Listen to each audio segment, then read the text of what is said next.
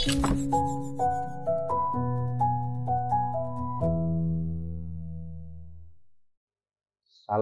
در خدمتتون هستم با ادامه دور آموزش درس فروش به جنگو توی قسمت می‌خوام راجع صحبت کنم که چطور می‌تونیم حالا پروژه جنگومون رو عملا ستاپ کنیم و بالا بریم. تا اینجا آماده سازی داکر فایل های حالا داکر فایل و داکر کامپوزی بودش که نیاز داشتیم برای محیط حالا توسعهمون.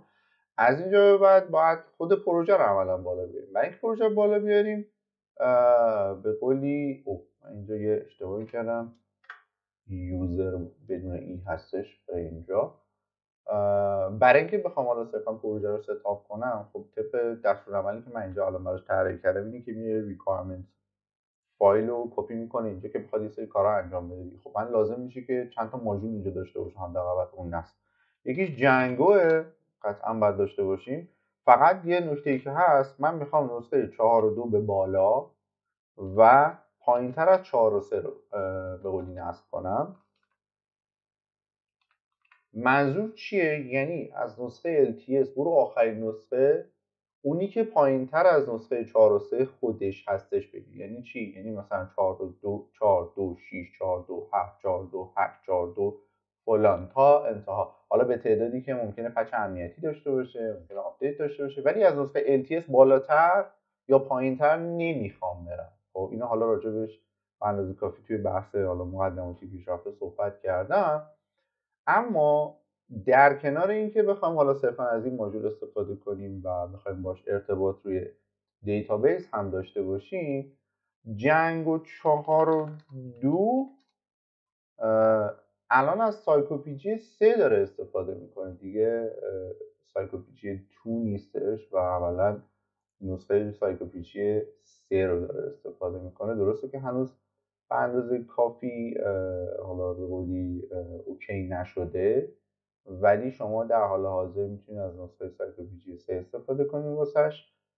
عرضم حضورتون که حالا اون بحث installation ش مطرح میشه که عملا psycopg binary. قبلا مثلا psycopg two binary استفاده می‌کردیم الان psycopg خالی binary استفاده می‌کنیم. پس این دوتا رو عملا من برای شروع هم لازم دارم. اینو پس بذاریم اینجا بگیم که main modules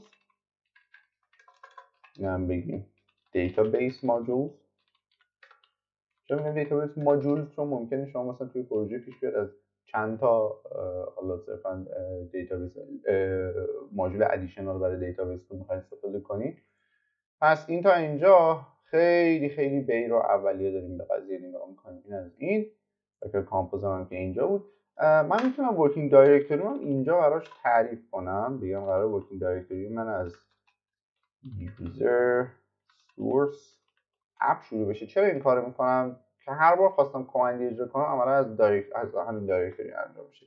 یه command اولیه درست می‌کنم. اینو باشه می‌ذارم روی restart فعلا always نمی‌ذارم. یه command اولیه ایجاد می‌کنم. میگم که جنگو dash admin هر کسی یه approach ی داره من اینجوری راحت ترم عملا. جنگو dash admin start project اسم پروژه اونم core و توی همین directory که الان می‌خوایم بریم من می‌خوام ساخته بشه یعنی بعد از اینکه ساخته بشه الان اینجا قرار می‌گیره okay؟ بریم یه بار run ش کنیم. docker compose up. من چون یه بار build ش کردم قبلا حالا این مفاد رو دارم دیگه لازم به build مجددش واقعا نمیشه. پراجکت مثلا توی فولدر و اومده. اون دستوری که لازم بود برای بکند هم اجرا شد. البته هرچند ندیدیمش دستور رو ولی عملا انجام شد و پروژه من رو توی این دایرکتوری ایجاد کرد. می‌بینیم که با آخرین نسخه 426 هم داره انجام میشه. پس عملا بیل گرفته شد و کارش هم انجام شد. حالا ممکنه تو سیستم شما یکمی زمان ببره تا بیلش انجام بشه و دانلود انجام بشه.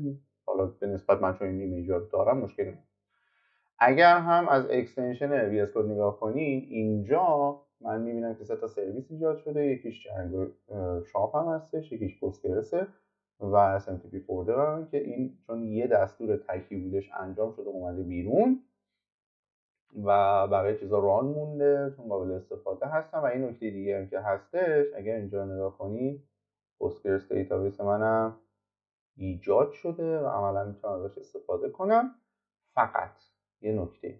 ما تو gitignore مون چند تا چیز رو باید رعایت خب یکی این که ignore database files فایل های دیتابیس من نمی‌خوام زمانی که commit می‌کنم به قولی باهاش بره. پس میام میگم که directory Postgres data رو هرچی که توش هستش رو برای من ignore خب زمانی که این کار رو انجام بدم اطلاعات داخل data رو می‌بینیم که همگی ignore شدن. کم رنگ شد دیگه درسته. پس دیگه توی Git هم اینجا هم حتی نمیبینمش. البته اینجا.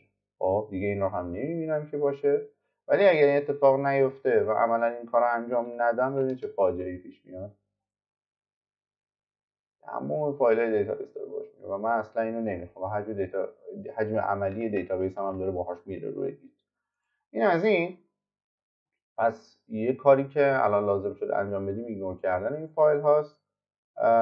یه نکته دیگه هم که باید بدونید که directory هایی که خالی باشن روی گیت نمیرن. پس dot git keep. یه فایلی هست به اسم dot git keep توش درست می‌کنید تا این فایل هم اضافه بشه. اگر دقت کنی می‌بینید که الان docs من الان یه فایل توشه که می‌تونم الان اینو نگهداری کنم. اینو از این پس یه چند تا نکته ریز حالا طی مراتب که داریم ما هم کار می‌کنیم چیزا دستتون خواهد اومد که چیکار باید بکنید حالا من این سیستم رو میارم پایین یعنی سرویس کلا down ش می‌کنم. و دستور اصلی که لازم دارم رو اینجاش می‌ذارم. پایتون manage.py run server. OK؟ یه نکته. می‌خوام migration ها رو خودم دستی انجام بدم. نمی‌خوام تو انجام بشه. به دلایل. از این شما می‌تونید اگر دوست داشتین توی همونجا migration ها انجام بدید ولی من می‌خوام خودم کنترل روش داشته باشم. مثلا الان چون هنوز دیتابیس اصلا بهش وصل نکردم. پس میریم Docker Compose up dash dash build. نکته آخر کجاست؟ اگر پروژه من بیاد بالا و صرفا run server انجام بشه من می‌خوام که رو پورت 8000 باشه و پورت 8000 هم می‌خوام که رو localhost م قابل دسترس باشه. OK؟ دیتابیس هم, هم می‌خوام پورت 5432 رو expose کنم. یعنی در اختیار بقیه سرویس هم, هم بذارم. با دیفالت هست ولی می‌تونیم که برای اطمینان بیشتر این کار هم انجام بدیم. پس میام بیلدش می‌کنم. میره که دوباره نصب کنه پیاده کنه. آخر.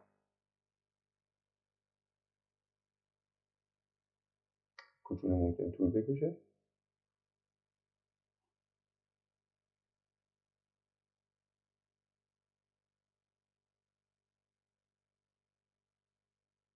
من pause می‌کنم که وقتی که آماده شد ببینیم خب ماژولا نصب شد سیستم اومد بالا. جنگو هم run شد. میگه که یه سری migration داری که باید انجام بدی. فقط یه نکته ای که بریم ببینیم مثلا تو دسترس هست یا نه. جنگو من up and running ه نسخه 4 دو. من می‌تونم ازشم استفاده کنم. فقط نکته ای که هست میمونه setup کردن دیتابیس environment ها و یه سری نکات اولیه پروژه که میریم تو قسمت های بعدی با هم تجربه داشته باشیم این قسمت بعدی پروژه ادامه بعد.